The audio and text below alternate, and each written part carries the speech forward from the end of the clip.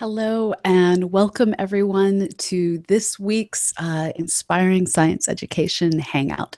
My name is Dr. Pamela Gay, and I'll be your host this week and uh, hopefully every other week for a long time to come. Although I will warn you, we are going to go on a summer hiatus and take off June, July, and August. And we hope all of you get to enjoy your summers as much as we do.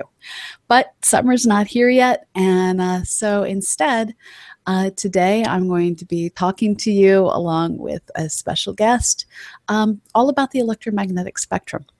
Uh, when people hear terms like radiation, uh, they often get nervous that this might be something that could kill them. And while there are very deadly forms of radiation, when a scientist uses the word radiation, most of the time, all we're referring to is light and the occasional high energy particle.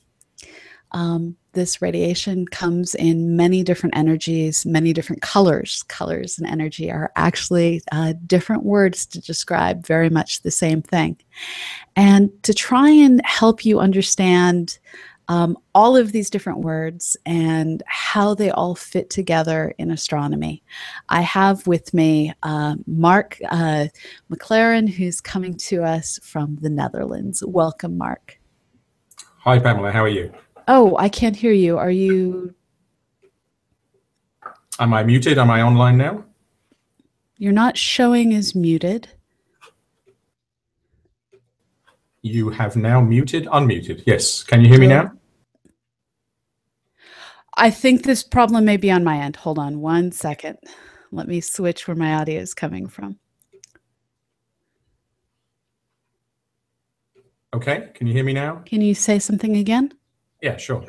Okay, now, yes, you're just fine. Sorry, that was a problem on my end. Hopefully, we won't get too much echo.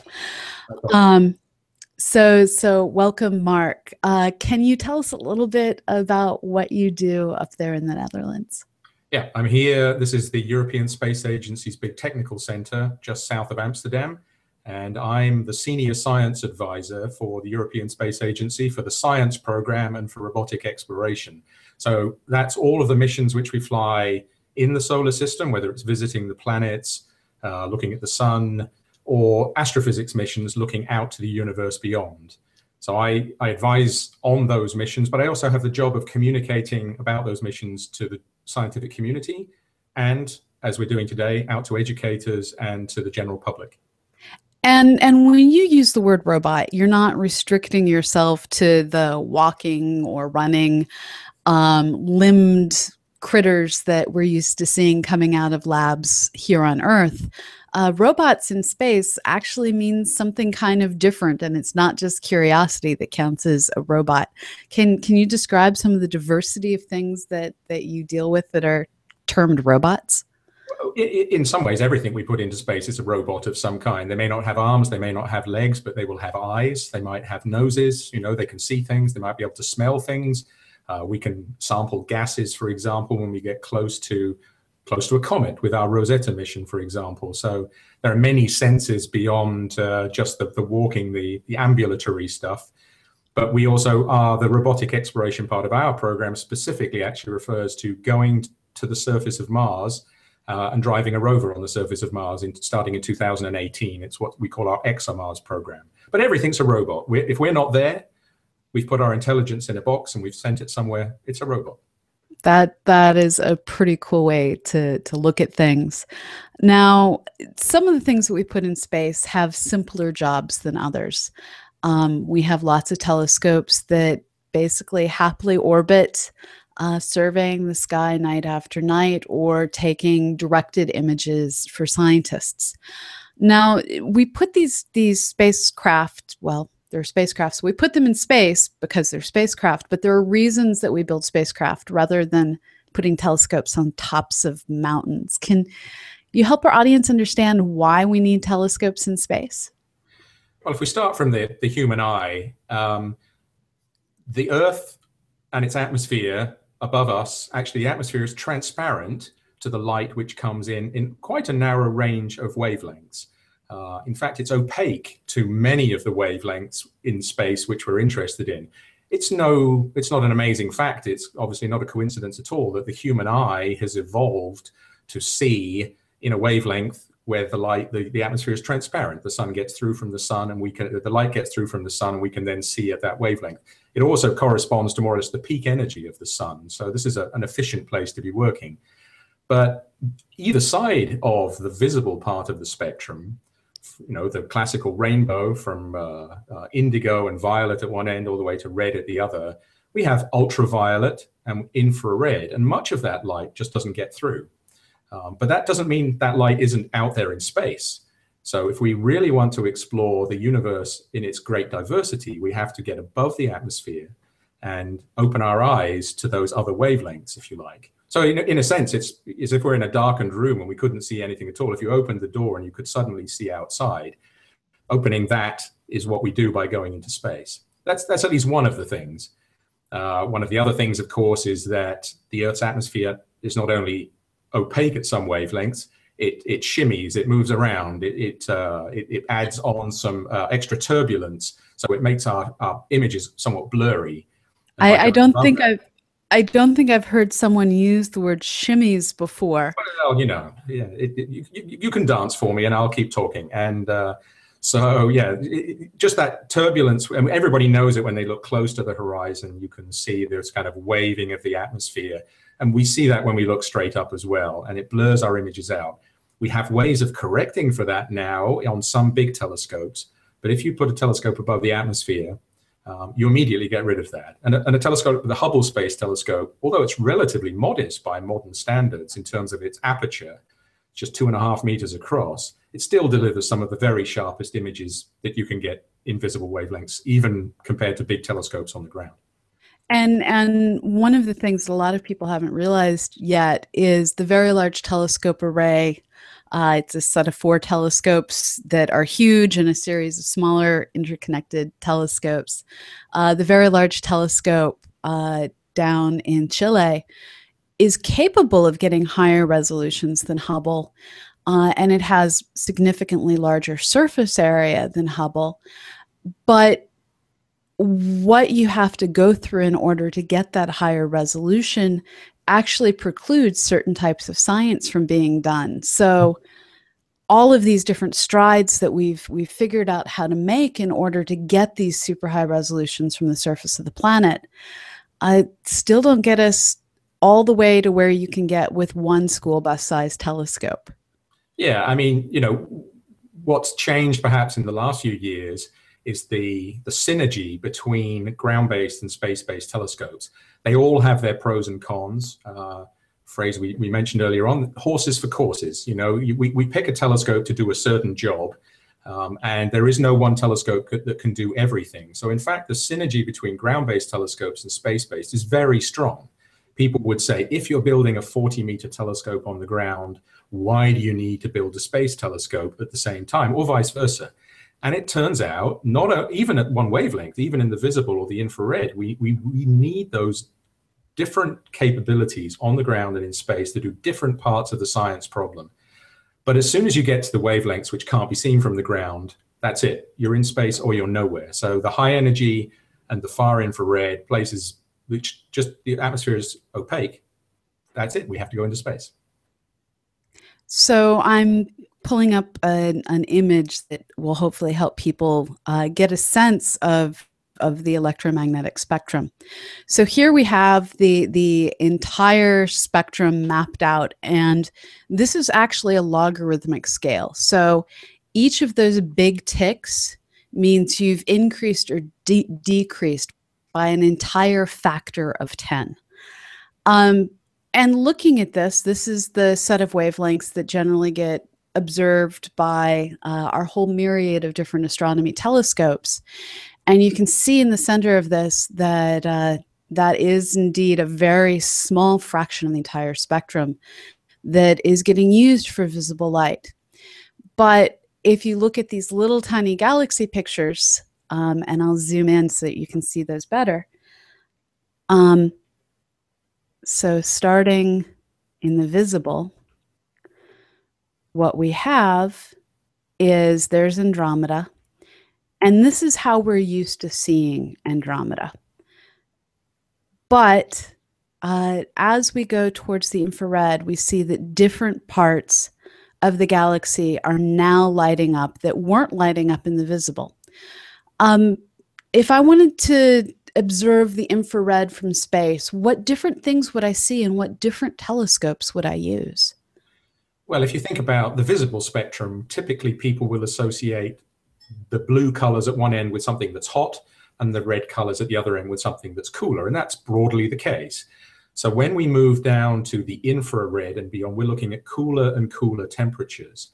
And so when we look at a galaxy like Andromeda in the far infrared, we see gas and dust at temperatures of maybe minus 200 degrees centigrade, maybe minus 230 centigrade.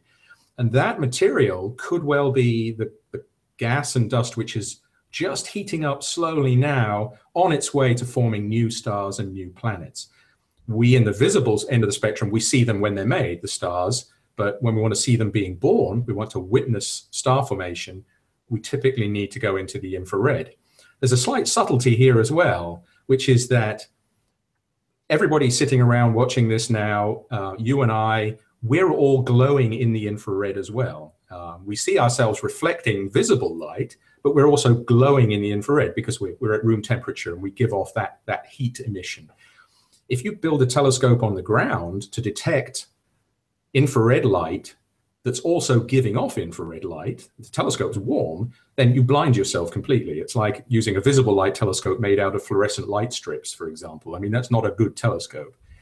So by going into space um, and using the other quality of space, we can then cool it down. We can get the telescope extremely cold. So for example, the James Webb Space Telescope, when it gets launched in 2018, will be a million and a half kilometers away from the Earth, behind a giant sun shield will be able to drop its temperature to minus 220 degrees centigrade or so, it then stops glowing. And that means then we can see things deep in space, which are glowing at those low temperatures. And, and this is actually very important to the longevity of the mission.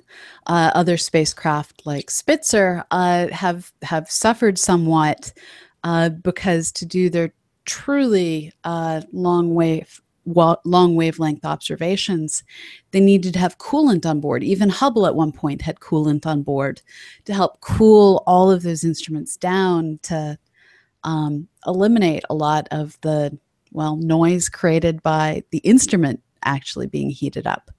Um, we can't get rid of all of the heat because the spacecraft itself is generating heat with all of its electronics.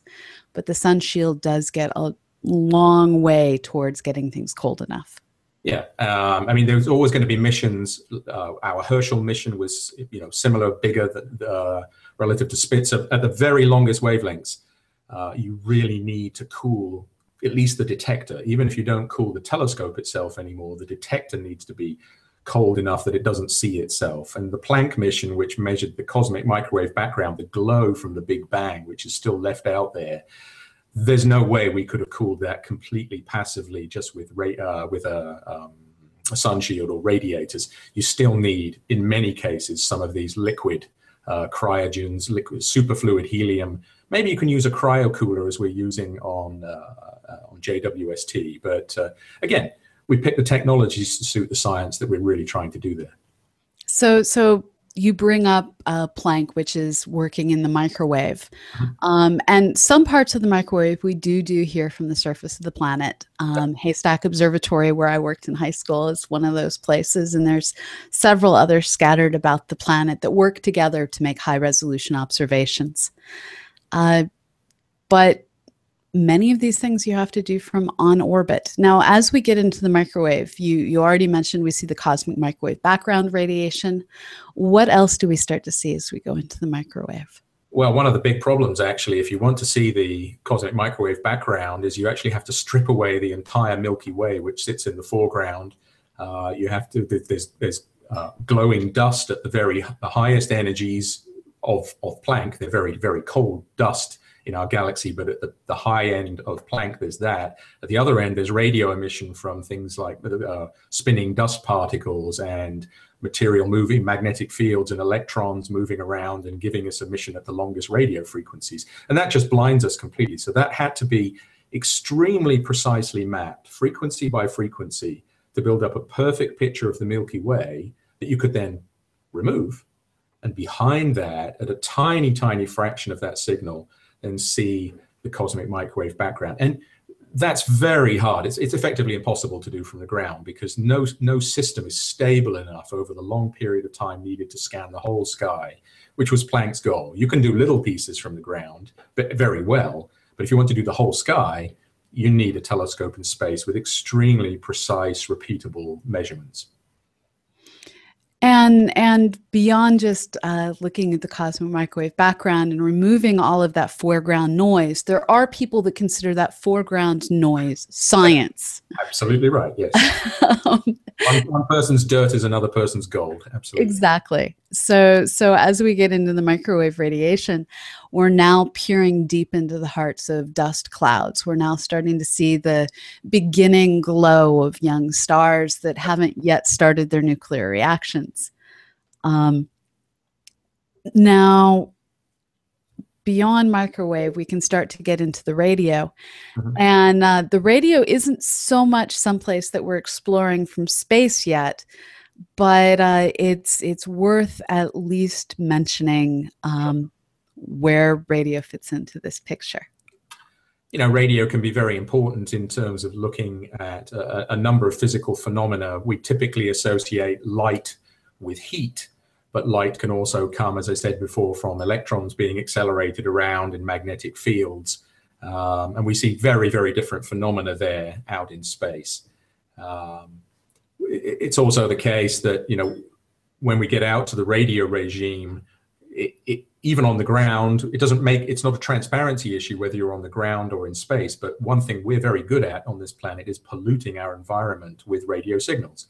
Um, and so having telescopes in radio quiet places where there's no background signal from us on our mobile phones, um, you know, that can be tricky. And so one reason you might want to go into space for the radio ultimately is to put an observatory on the dark side of the moon so that you're shielded completely from the signals that we're putting out there. I mean, that's still out there. We're not doing it yet, but uh, then you would get down to much, much quieter levels uh, and see fainter signals. Now, now I actually have to call you on that one because you uh-huh. called it the dark side of the moon. Yeah, sorry. Yes, as, as soon as I said it, I knew that somebody. yeah.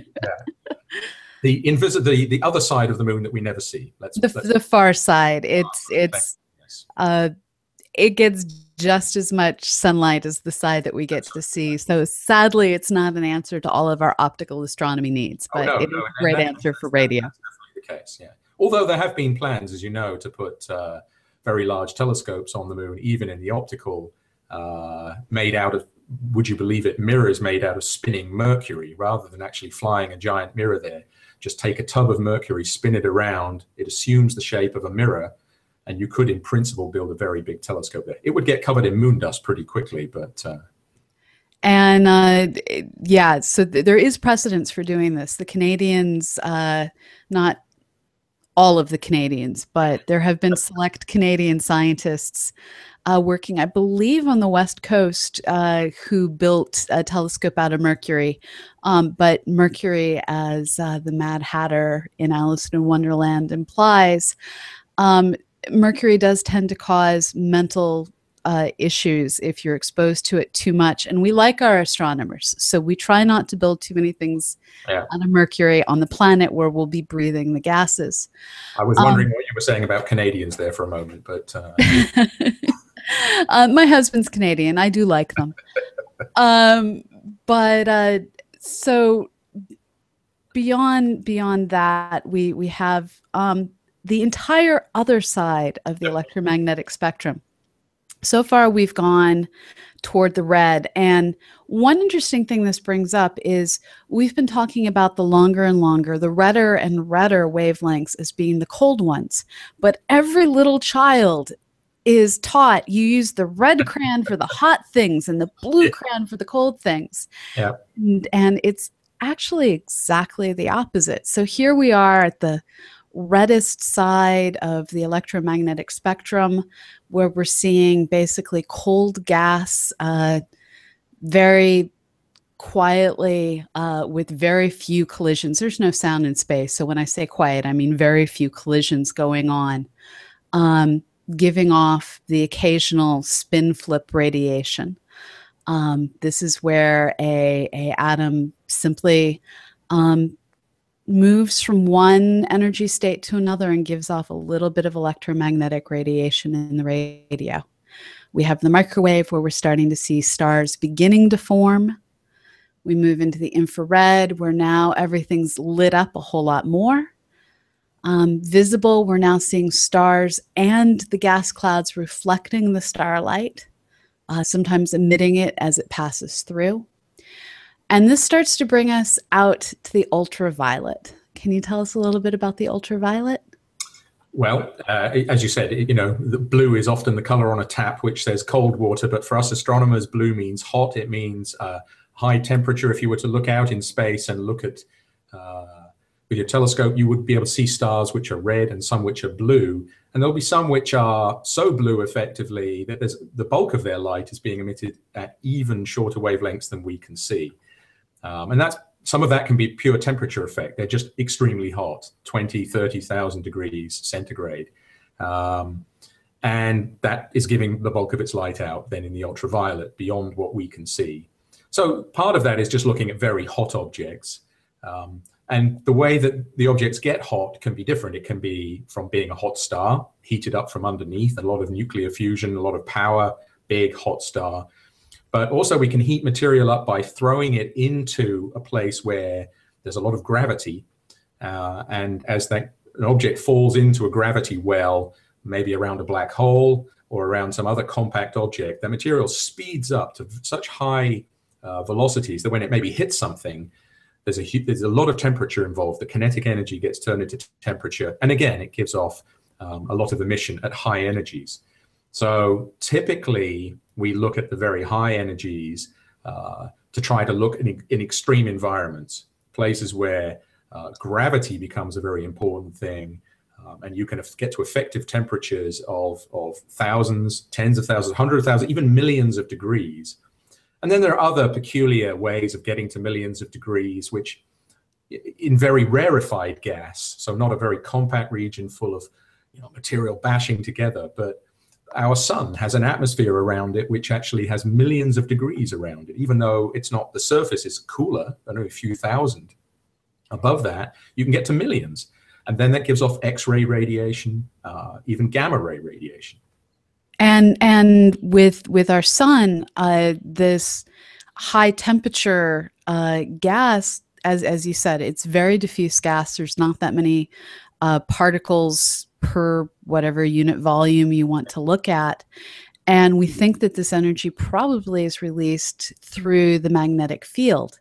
Mm-hmm. And as we continue moving through the electromagnetic spectrum, um, as as you said, we we go from the ultraviolet, and as we keep going out, we start to get into the X rays and gamma rays. And as as scientists, we're not quite yet to the stage of having pretty pictures in gamma ray. Um, taking pictures with gamma rays is hard. They would much rather pass through your telescope than be imaged by your telescope. So um, gamma rays, we, we actually usually count the number of photons instead of trying to make pictures with the photons.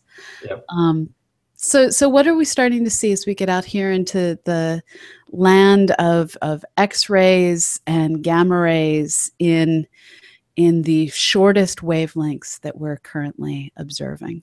Well, again, one of the areas which is really big for high energy astrophysics is this, this issue of looking at black holes and looking at what's going on in uh, the so-called accretion disk. As material, everybody thinks, you know, material falls into a black hole, it's gone. Uh, the hole is black. This is true, but surrounding that, as the material falls in, it gets extremely hot, and just before it disappears into the black hole, there's a huge amount of energy given off at very, very high energies there. Um, very short wavelengths, so we're seeing it in X-rays particularly. And then we have events sorry go on. So so what what's happening here is we have all of this dust and gas that through various processes has gotten pulled into a disk around the black hole. And this is as true for stellar mass black holes as it is for the supermassive monsters in the hearts of of galaxies. Um, the black holes aren't like actively going out and sucking dust in. This is material that, while it was on its merry journey through the universe, um, went of its own accord too close to a black hole and ended up in this this disk and the disk is so hot and so dense that it can actually have the same physical states that you might find deep inside of a star. So you can actually find nuclear reactions going on inside some of these disks in, in supermassive black hole cases. And in the case of the disks around stars, they just sometimes explode, and we call these uh, cataclysmic variables. Yep.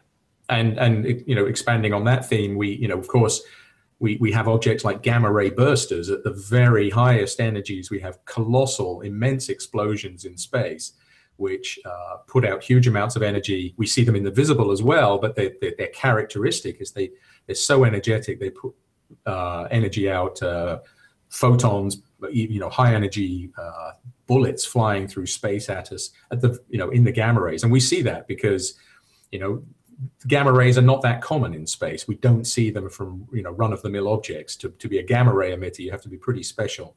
Um, and when we see these colossal explosions going off, and initially people thought these were actually uh, back in the 60s, people thought these might have been nuclear tests setting off nuclear bombs on the Earth. And yeah. so the, the satellites which first discovered them were actually looking down, looking to see if anybody was letting bombs off, uh, testing them. And then later on, people thought, well, the colossal, it's coming from space, but the colossal energy involved, that, you know, they can't be that far away from us, right? They must be local to us to, for us to receive that much energy. It was, it was found, no, they're, they're all over the sky. They're not distributed just in the plane of our Milky Way. These objects are typically very distant from us and, and absolute monsters in terms of their explosive power. And and it took us tens of years to figure that out because it is so hard to observe in the gamma rays. And the initial thought was since these th- seem to be distributed all over the sky in a random distribution, they either had to be close enough that they were literally local and we weren't being affected by the fact that there's a disk of stars around us. Because if if it was part of our, our galaxy, and not super nearby, we would have expected to see that disk like distribution.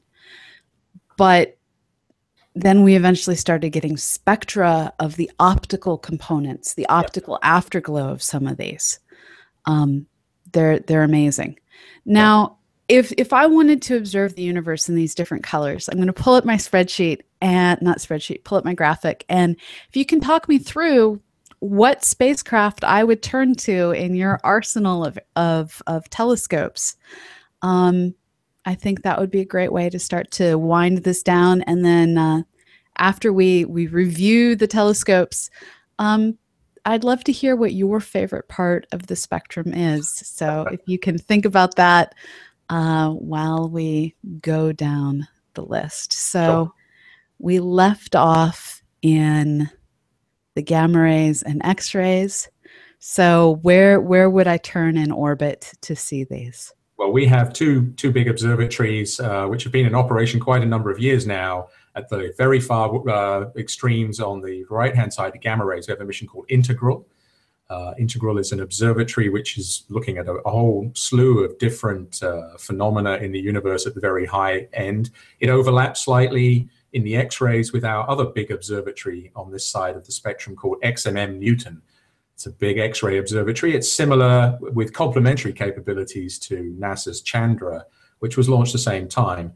Um, and, and in fact, we're going to be going back into this piece of the spectrum with our, one of our next big observatories called Athena, which will be flying in the mid 2020s or so. So again, a big general purpose observatory there. So this piece of the spectrum um, has been fairly well covered for a long time because you can't do this from the ground. If you're going to do it from anywhere, you do it from space. Um, and uh, so we're, we're very sure we'll continue in this area. We're going to build a big mission in there. Um, and I'm sure NASA will uh, participate in that mission or, or go with future missions in the high energy domain as well. Um, and then if you move over further, one of the interesting things is that the ultraviolet actually is a little bit less covered these days.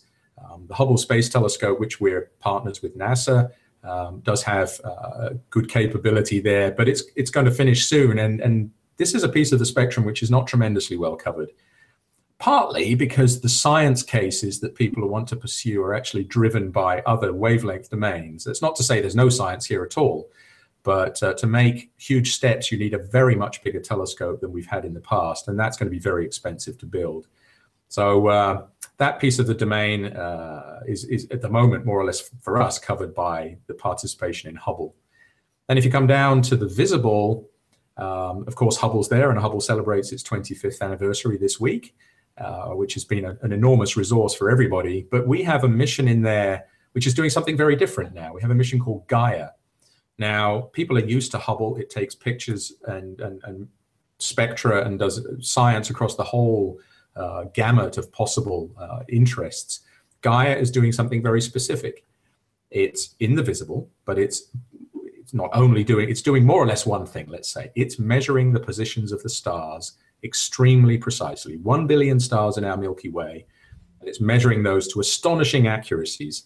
It's able to measure the position of a star to the, the equivalent of the width of a human hair as seen from 2,000 kilometers. So this is an extraordinarily precise thing. And you think, well, so what? Why am I doing that?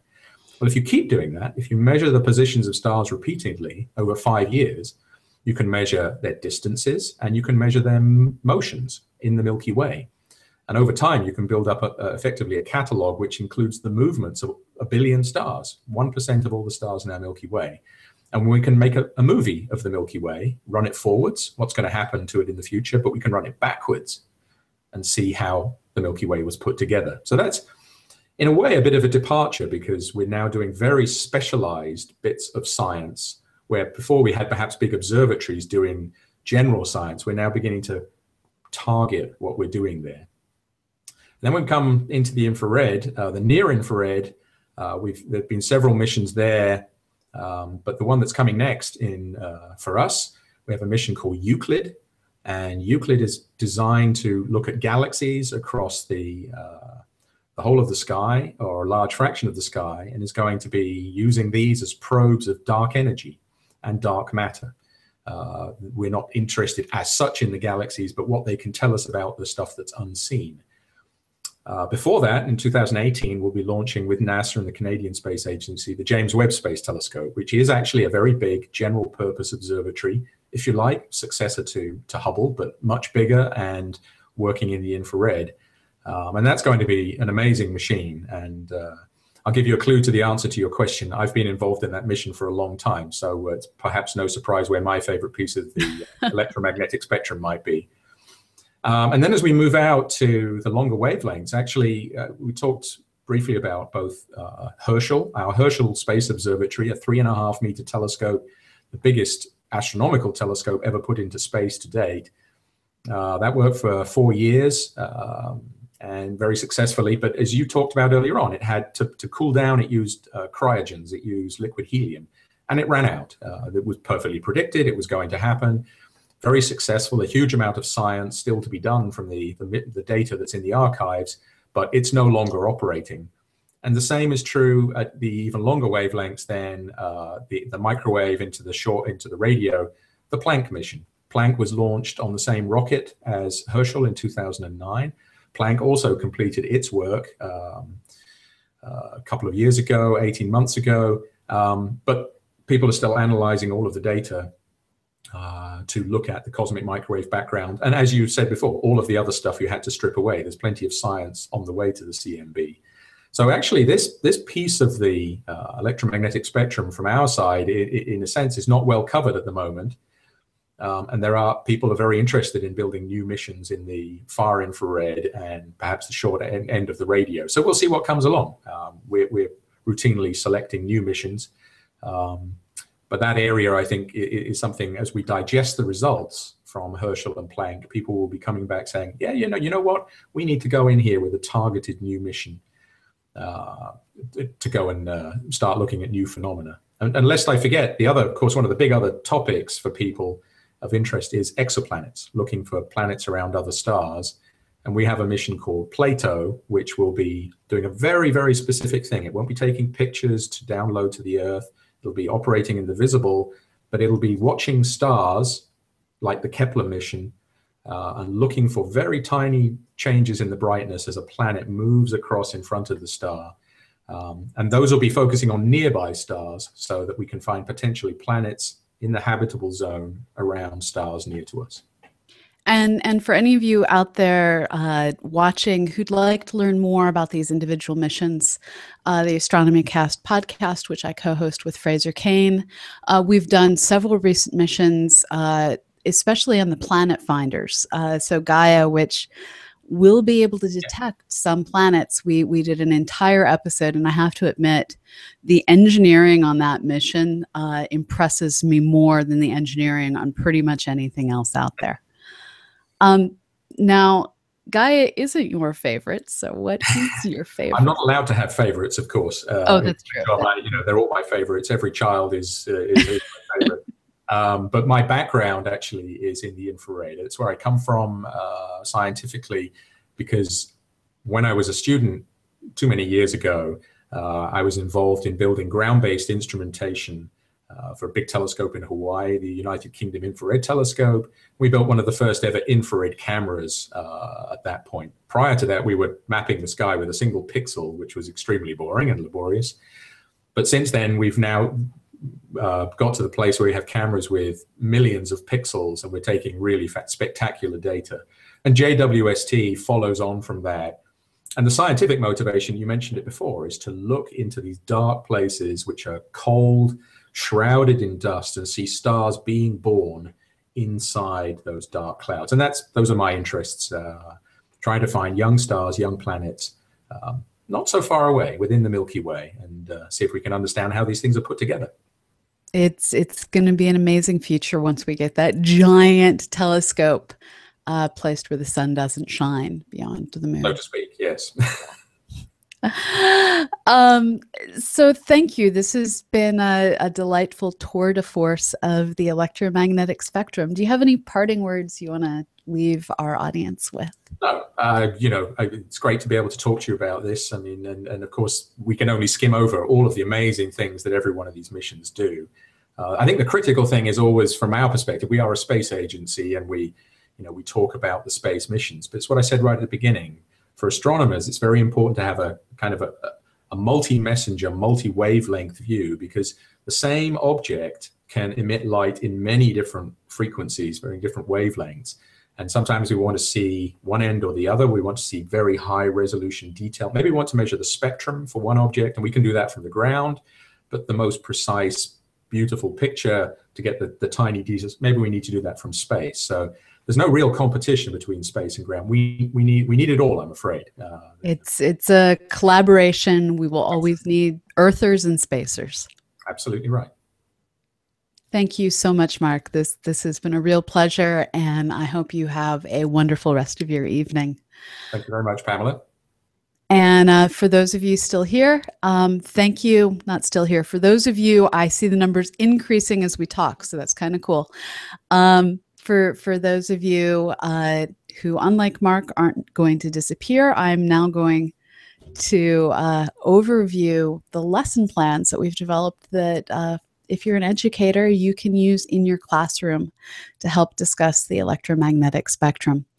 Um, throughout this Hangout, I, I've been showing you uh, a poster that uh, will be uploaded to the Inspiring Science Education uh, community that we have associated with this particular hangout. And this poster is, is something that um, you can download and print out on a poster printer. Um, or if you happen uh, to not mind paying postage, I can actually ship you a copy of this um, in a return tube or a we can figure things out. Email me and we can get you this poster. We have a bunch of them here at Southern Illinois. And this poster was designed to help you and your students understand um, how the universe varies from color to color using a familiar object. And the entirety of this lesson is actually centered on this idea of the familiar becomes unfamiliar as we move through the electromagnetic spectrum as a founding activity to get your lesson started, uh, we encourage you to go to the Chromoscope website. It's chromoscope.net. And, and this is a website that's been designed to allow you to literally scan through our galaxy in a variety of different colors. So, this is what the website looks like. And as I use it, I can go out to the gamma ray and see what the galaxy looks like in the gamma ray, the X ray, visible, hydrogen alpha, which is um, a specific transition line in the red. So everything in this gas that we're seeing, um, this is light generated by electrons that are jumping from the third energy level in hydrogen to the second energy level in hydrogen. We have near infrared, far infrared, microwave, and radio. Um, you can zoom in with this. Um, of course, zoom out um, and scan around so that you can see all the different pieces. This is just a starting point to get your students oriented on how the different colors look. Uh, you can use this to begin a dialogue about how what we see with our eyes is is really only the smallest fraction of all the light that's out there in the universe. Once you've introduced them to the concept of color, of colors that are beyond what we can see with the visible, the next thing that we're going to have your students do is actually work to create their own versions of, of that poster I'd been showing you. Uh, the activity, when it's posted on the Inspiring Science Education uh, website, uh, which at the time that we're recording this is undergoing upgrades, um, once it's posted up there, we will have a template that your students can use to drop in their own pictures. So instead of seeing what Andromeda looks like at a variety of different wavelengths, you can, for instance, encourage um, your students to spread out across the Messier catalog with different students selecting different objects from throughout our galaxy and the universe beyond. Once they've all selected objects, there's a really good website that you can go to and get data from all the different um, spacecraft that have publicly accessible databases.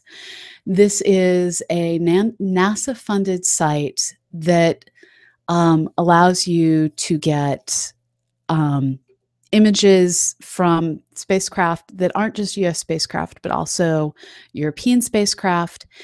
And while there is a non astronomers page, we actually want you for this activity to go in through the normal Skyview query form.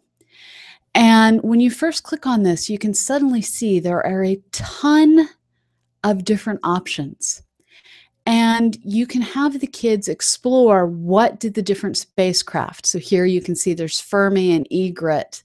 Uh, there's um, the Digital Sky Survey, the Sloan Digital Sky Survey, GALEX ROSAT. All the different spacecraft are listed here. Some of the best images are uh, down here in this goods field. And if you scan through this, you'll see it's actually a variety of different spacecraft ranging from Europe's Herschel to the US Spitzer to the very large telescope uh, down in uh, Chile, which is a European Space Agency, or sorry, a European Southern Observatory project. Um, all of these different really high quality images span all across the electromagnetic spectrum and are there for you to select and download. Um, your students can simply type in the name of an object. So, for instance, uh, the Orion Nebula, or let's do M42 because that's less typing. I can type in M42 and for starts, let's just look and see what does that look like in the ultraviolet. I'm going to look at this with a large two degree field and I like pixels, so I'm going to put in a thousand pixels and submit my request. And what it's doing right now is it's reaching out to the GALEX database and it's pulling up an image. And the first thing that your kids might learn is well, everything hasn't been observed by all the space telescopes. So it turns out that as I record this live, I picked an object that isn't in that particular field. But I do know, because I pulled it up earlier, that Andromeda is in the GALEX field. So here's Andromeda as viewed by GALEX. So this is what the Andromeda Galaxy looks like in the ultraviolet. Now, I also pulled it up in Fermi, and suddenly I can see, wow, gamma ray space telescopes, they don't have particularly good resolution. This doesn't look like a galaxy anymore. And in fact, what I'm seeing is the random gamma ray particles coming off where there happen to be high energy events, either in the foreground, in the Andromeda galaxy, or perhaps even in the background. The ultraviolet, I'm left with this beautiful filigree of stars and gas. This is all the slightly dangerous color of light that can burn your skin. Luckily, our atmosphere blocks most of it, which is why we have to launch spacecraft. We also have optical surveys. This is the Sloan Digital Sky Survey, and you can actually see the pattern of the survey across the sky, um, seeing where they took the most data here in this beautifully filled out section, and seeing where the data wasn't quite as good in some of the places around it. Um, here's a different color of the Sloan Digital Sky Survey. Um, and I can see again here, wow, UKIRT, didn't get this in the infrared. So there are holes in our data, and this is why we have to keep looking. We haven't looked at everything yet. WISE, however, has looked at this in the micron radiation. Um, and here again, I can see as we go into the microwave, the resolution isn't the same. Things don't look the same. And again, I hit a blank when I hit the Chandra X-ray data. So there's lots of different data out there that your students can probe and um, it will allow them to start to see